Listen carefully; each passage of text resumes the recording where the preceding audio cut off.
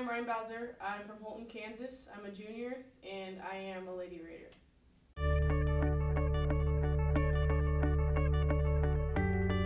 Um, I would say challenging experiences that I have faced, uh, the supportive feedback I've had um, with family and friends, and challenging experiences like failing uh, during a game or things like that, I think have shaped me.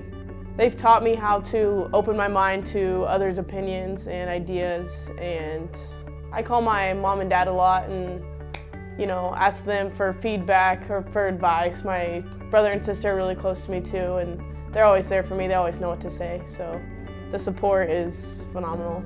Probably the intensity and the, I'm very competitive, so the competition and just to go out and have the opportunity to play.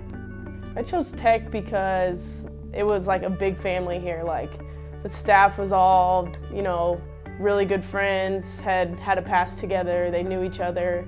It was just, it was a big family atmosphere and I love my family and family is a big thing for me, so. That's the girl who works hard every day. She is very competitive, she knows how to win, she knows how to get the job done. I think that's what I want people to know about me.